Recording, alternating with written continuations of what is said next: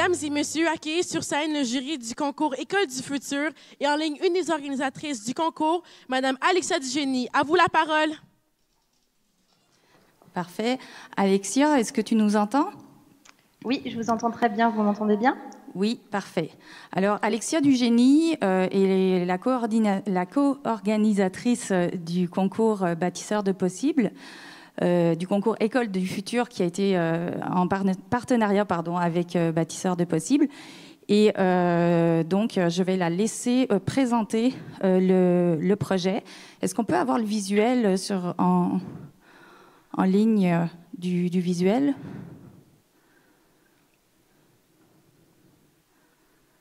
Je ne sais pas. Hein. En tout cas, en euh, attendant, tu peux y aller, euh, Alexia. Oui, je peux, je peux, dire deux, trois mots déjà. Euh, en je vais juste prendre la machine à clic. Je, m'entends un petit peu, c'est un peu perturbant. Là, c'est bon? Oui. Ok. donc, en effet, le concours bâtisseur de possibles mis en place avec, avec le REFER. Donc nous, on est toute l'équipe donc très heureux d'avoir pu participer, d'avoir pu mettre en place ce concours-là. Euh, quelques mots sur Bâtisseur de possibles. Euh, Bâtisseur de possibles, c'est un dispositif qui euh, invite les élèves à se questionner sur le, sur le monde qui les entoure via des projets mis en place en quatre étapes qui reposent sur le design thinking. donc là, la thématique qu'on a choisie dans ce cadre-là, c'est repenser l'école de l'école de demain, donc penser l'école du futur. En fait, c'était la consigne qui était euh, qui était donnée euh, donnée aux classes. Donc il y a 28 euh, classes francophones qui ont répondu à l'appel et 19 d'entre elles qui ont pu mettre en place le projet, donc qui l'ont documenté, c'est-à-dire qu'ils ont créé des tableaux de bord pour qu'on puisse suivre vraiment vraiment le processus. donc là, vous voyez, en effet, c'est les quatre étapes, quatre étapes de la démarche bâtisseur de possible. Donc, euh, première étape, identifier un problème, euh, un problème qui nous touche. Euh, imaginer une solution pour résoudre ce problème, mettre en place cette solution et la partager avec les autres classes, avec les autres écoles, avec, avec le, reste, le reste du monde. Voilà. Donc, il est très important dans cette démarche que les élèves soient vraiment acteurs du projet et acteurs de, euh, de, A à Z. Voilà, ils sont vraiment, ils sont vraiment au centre, euh, au, centre de, au centre de la démarche pour euh, justement repenser, repenser cette école, cette école de demain. Donc, on a mis en place plusieurs critères. Nathalie vous présentera le, jury après. Euh, donc, outre euh, en effet la volonté de, rendre les élèves acteurs pendant, ce projet, euh, on, trouvait, important que les élèves puissent travailler en groupe, prendre des initiatives, être créatifs et être, autonomes. Donc, c'est des compétences qui nous paraissent vraiment clés en ce moment en termes d'apprentissage. Donc, ces cinq critères, je vais vous les, les présenter. Euh, tout d'abord, il y a euh, la profondeur d'exploration, donc à quel point les classes, les élèves ont pu vraiment se questionner et euh, dépasser les premiers questionnements pour vraiment creuser. Il y a la créativité de la solution, de la solution retenue. Est-ce qu'ils ont pu sortir un peu de leur zone de confort? Est-ce qu'ils ont pu trouver des solutions en adéquation avec la problématique identifiée? Il y avait euh, l'audace et la persévérance des élèves.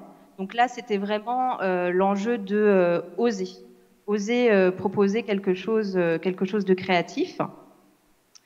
Il y avait également l'initiative, la responsabilité et coopération des élèves. en effet, c'est un travail de groupe, c'est un travail, c'est un travail créatif dans un cadre mis en place par l'enseignant. Donc là aussi, la posture enseignante est très, euh, importante dans la mise en place de ces projets, c'est-à-dire qu'on accompagne vraiment euh, les idées des élèves, on accompagne la mise en place, donc c'est-à-dire qu'on se met, euh, on se met un petit peu en retrait pour justement laisser, laisser part à, plus d'initiatives possibles. Et enfin, le dernier critère, c'était le critère que j'ai énoncé au début, à quel point euh, les élèves ont été euh, acteurs du projet Et est-ce qu'il y a eu un projet un petit peu, dirais-je, coup de cœur au niveau du jury? Donc voilà un petit peu la démarche et, et le contexte de ce concours. Donc Nathalie, je vais peut-être te laisser dire deux mots sur, sur le jury. Oui. Alors le jury était un jury international euh, qui était constitué de personnes qui venaient un petit peu de, tous les milieux, euh, dont le milieu de l'éducation, mais aussi euh, du milieu de la communication, du design. Donc on avait des gens qui étaient investis dans, différents champs. Mais on tenait aussi à ce qu'on ait des élèves qui puissent évaluer la démarche de leur père. Donc c'est pour ça que sur scène, vous avez euh, Laurent et Mélissande, qui sont des élèves de l'école de l'envol à Lévis, euh, qui ont accepté euh, d'évaluer les projets autant du primaire que du secondaire. Et puis Karine Godin-Tremblay de l'école au millénaire à la baie, qui elle aussi a accepté de faire partie du jury. Donc c'était notre jury québécois et puis les autres jurys étaient en France. On avait demandé aussi au jury de nous partager un petit peu euh, rapidement euh, leurs leur euh, commentaires de, sur leur expérience. Alors Karine, si tu veux commencer. Avec plaisir. ben, premièrement, je, voudrais, je voudrais dire que c'est vraiment impressionnant de voir la qualité du jury que vous avez choisi. Puis je suis vraiment fière d'en faire partie. Merci de, m'avoir donné cette confiance-là. C'était ma première expérience en tant que, membre d'un jury. Et je suis épatée de voir la qualité des projets, les beaux jeunes qui ont pris en charge des problématiques, des choses qui les tracassent dans leur milieu, puis qui ont fait tout, qui ont persévéré jusqu'à la fin de leur projet pour euh, le mener à terme. Fait que ça, c'était tellement impressionnant. Puis euh, quand je me suis installée pour euh, faire ça, je me suis installée avec mon petit café, j'ai ouvert mon ordinateur, puis là, je me suis mis à regarder les projets. Mais plus je les regardais, plus je trouvais ça impressionnant, puis il a fallu que je les regarde encore là, pour, pour départager puis rester euh, dans les cibles des critères. C'est ça que je pense que j'ai trouvé le, plus difficile parce que c'était emballant. C'était emballant de voir les idées tout à fait différentes qu'ils avaient là, les uns des autres. Voilà. Euh, ben, j'ai beaucoup aimé faire partie du projet, puis les différents projets étaient tous différents, donc ça a été quand même difficile de trouver les meilleurs parce qu'ils se ressemblaient pas toutes. Fait que c'était vraiment, vraiment le fun. Ben ouais, parce que les projets ils étaient tous différents, fait que souvent c'était comme difficile de, avec les critères. Là. Fait que c'est ça. Un peu la même chose, dans le fond. Les, les, projets ils étaient vraiment tous différents. C'était dur de les noter euh, parce qu'ils étaient, ils étaient tous formidables. Euh, mais ce que j'ai trouvé difficile, moi, c'était le faire pendant ma semaine de relâche. Vous voyez, on les a fait travailler même pendant la semaine de relâche. Ok, alors Alexia, on va présenter donc euh, les, les résultats maintenant. Oui, tout à fait. Euh, mais, pardon. Mais d'abord, on, voulait dire, euh, je suis désolée, parfois j'ai un petit peu un retour de, voix, donc ça me perturbe un petit peu. Euh, on voulait d'abord dire un grand bravo euh, à toutes les classes qui, qui ont participé, parce qu'en effet, c'est un, travail assez, assez impressionnant, assez court, sur une durée assez courte au final, et c'est un, un, investissement et un bon travail, de, un super travail de coopération. Donc, donc voilà, un, un grand bravo, un grand bravo à tout le monde. Euh, donc, il y avait plusieurs catégories. Il y avait deux catégories. Là, dans la catégorie euh, primaire, euh, donc l'école gagnante, c'est l'école Le Blé en Herbe avec Valérie, enseignante, qui euh, qui avait pour projet, quoi, la, résultante du projet est la cash ban. Donc on va on va expliquer très très rapidement ce qu'est la cash ban, mais en tout cas le problème qui a été identifié à l'origine et qui a été voté par les élèves, parce que les élèves ont proposé plusieurs, plusieurs problématiques. Euh, la problématique qui en est ressortie, c'est des enfants qui embêtent les autres, qui font mal. Voilà. Donc à partir de, à partir de là, euh, ils, se sont, euh, ils se sont posé des questions sur en effet quelles seraient les, les solutions, quels sont les problèmes qui, qui émanent de ça, quoi, quel est un petit peu le, quels sont un petit peu les facteurs. Et la solution, c'était de se construire un endroit où on pouvait rester, rester au calme, en fait, pour prévenir prévenir les éventuels conflits, colère, émotions, etc. Donc voilà. Pour la réaliser, donc ils n'ont pas, ils l'ont, ils pas fait tout seul. Ils ont inclus, euh, ils ont mis en place un atelier, un, goûter atelier où euh, ils ont pu euh, faire intervenir diverses personnes pour justement penser, penser cette cette cache ban. Donc ils ont fait ça vraiment en co-construction, en pendant un moment assez assez convivial. Donc il, en résulte cette, cette petite cache ban dans laquelle on peut dans laquelle on peut se mettre pour pour justement retrouver un petit peu, un petit peu de calme. Voilà. Est-ce que tu veux qu'on passe tout de suite le petit film euh, Oui, alors du coup, ils, ont fait en effet une, petite vidéo euh, pour nous parler euh, très rapidement de, leur projet, de ce qu'ils ont aimé et pour nous partager un petit peu leur, bah, leur, joie d'avoir participé et à, à ce concours-là. Donc oui, en effet, ouais. Alors à la régie, est-ce que vous pouvez partir la vidéo de l'école Le Blé en herbe?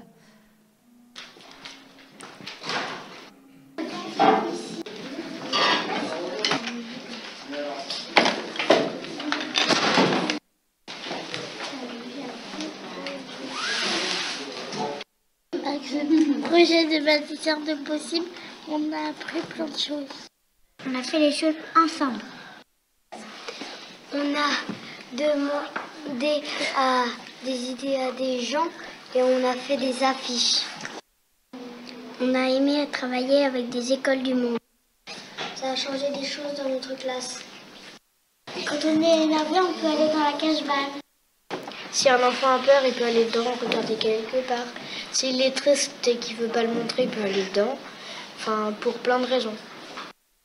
Quand quelqu'un a besoin de la cage, de la cage on va lui donner quand on sent qu'il ne va pas très bien. On se rend compte qu'il y a des enfants qui ont plus besoin que d'autres. S'il y avait des cache dans toutes les écoles, on penserait que tout le monde se sentirait bien dans toutes les écoles. Ça pourrait faire des classes plus calmes. d'avoir gagné. Oh oui Oh oui C'est la première fois qu'on participe à un concours. Avec ce projet, on a gagné deux choses. Une cabane et un concours. On est très content d'avoir participé. Il faudrait garder toutes les idées des autres écoles qui ont participé. Comme ça, les, les autres écoles, ils peuvent regarder les idées des autres. On voudrait faire passer un message. On n'est pas trop petit pour changer le monde. D'ailleurs, nous, on a réussi. On a réussi à changer l'école du futur.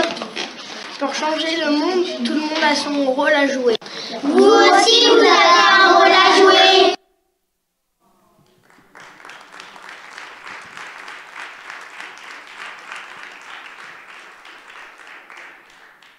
Ok, Alexia. Euh, oui, donc en effet, bravo.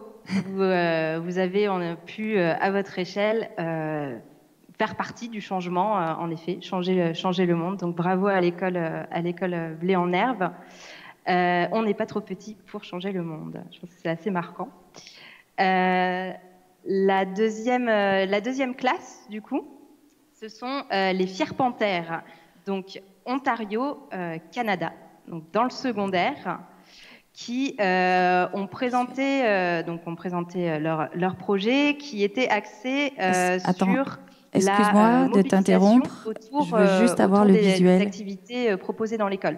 Donc en fait, le, le, problème, principal qui, est ressorti donc des différentes, différentes discussions, euh, c'est que euh, dans l'école, il y avait énormément euh, d'activités proposées, mais très peu de participation. Donc voilà, donc ils se sont posé la question, la question de, pourquoi, pourquoi peu de participation alors que beaucoup de beaucoup d'activités dans l'école. Euh, et euh, la solution trouvée, c'était euh, vraiment axée sur sur de sur de la circulation de l'information et de la mobilisation également. Donc ils ont pu mettre en place une chasse une chasse à l'information où, en gros, les, élèves, les élèves de l'école devaient, via un dispositif un peu ludique, rechercher des informations sur, les activités. Et donc le résultat, c'est que ça a pu vraiment motiver, les élèves pour justement participer aux activités qui sont proposées. Donc voilà, et s'intéresser vraiment euh, aux affichages qu'il y avait, parce qu'il y avait déjà des affichages dans l'école, mais ça permettait vraiment de, comment dire, de, driver le regard un peu plus, euh, un peu plus sur les activités en place. Alors, on a la chance d'avoir dans la salle l'enseignante de l'école euh, secondaire catholique de Plantagenet. J'ai réussi à le dire. Donc, Madame Chantal Poirier, je peux vous demander de monter sur scène, s'il vous plaît.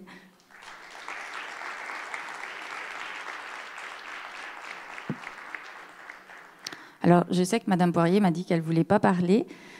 Donc, euh, approchez. Tenez, prenez ma place. Vous êtes sûr que vous ne voulez pas parler? Sinon, il y a vos élèves qui peuvent parler aussi. Oui, bah, je vous laisse mon micro. D'accord.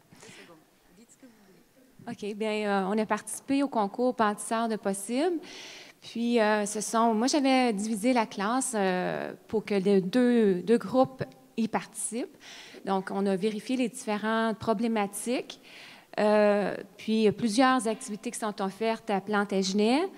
Euh, toutefois, les organisateurs disent toujours euh, on n'a pas le taux de participation qu'on aimerait avoir. Il y a plusieurs personnes qui participent, mais pas le, taux qu'ils voudraient avoir.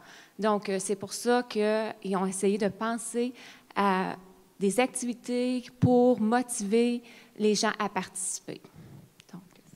Alors, on va pouvoir regarder le, la courte vidéo que les élèves ont préparée pour nous présenter le projet. On retient qu'en tant qu'élève, euh, on est capable de faire une différence dans l'école. Puis on retient aussi de, que le travail, l'esprit de collaboration avec les autres membres de l'équipe euh, peut avoir une très grande influence sur comme, le produit qu'on peut donner, puis sur le travail qu'on fait. Qu'avez-vous aimé de la démarche? Euh, nous avons aimé que c'était un projet unique, différent des autres. Il euh, fallait répondre au blog. Puis ensuite, euh, c'était vraiment concret parce qu'il fallait aller faire notre solution, donc aller faire vivre à l'école. Donc c'était vraiment différent des autres projets habituels. Puis vraiment aussi de s'organiser en équipe pour pouvoir produire un travail au niveau de l'école, puis vraiment de se séparer les tâches et aussi même aller faire un partenariat avec d'autres comités de l'école pour pouvoir avoir des prix, par exemple, ou même pouvoir donner un meilleur produit final. Aussi, euh, je crois que ce qui est important, c'est vraiment utiliser les forces de chaque personne dans notre équipe pour euh, arriver à un beau produit comme ça. Quelle est votre vision de l'école du futur? Euh, nous croyons que dans le futur, les valeurs de l'école vont être beaucoup plus présentes, que les élèves vont beaucoup plus les respecter et les appliquer, puis qu'aussi, avec la technologie, on va pouvoir faire euh, beaucoup référence avec les autres pays. On va pouvoir les contacter, communiquer avec eux. Donc, on va pouvoir voir qu'est-ce qui se passe dans le monde, puis euh, avoir une communication meilleure entre tous les pays. C'est ça, puis surtout avec l'avancement technologique, il y a aussi la communication qui va changer. Donc, il y a les courriels aujourd'hui, puis il y a tous les médias sociaux, comme on a pu partager nos blogs, puis même on peut partager notre travail à l'échelle internationale même. Bonjour, je m'appelle Julia Corot. Moi, c'est Véronique Ranger. Noémie Savard. Sophie Rochon. Hugo Paradis. Annie Vio. Miguel Tardif. Et nous sommes fiers d'avoir participé au concours Bâtisseur de possible, École secondaire catholique de Plantagenet. Alors, merci beaucoup. Donc, euh, on va, euh, on a commencé à rêver l'école avec euh, ces jeunes-là qui ont euh, agi concrètement dans leur milieu pour la changer. Euh, maintenant, je vais inviter les euh, animateurs à venir sur scène pour présenter la suite de la matinée et la table ronde qui va tourner autour de la question qu'est-ce qu'une organisation apprenante?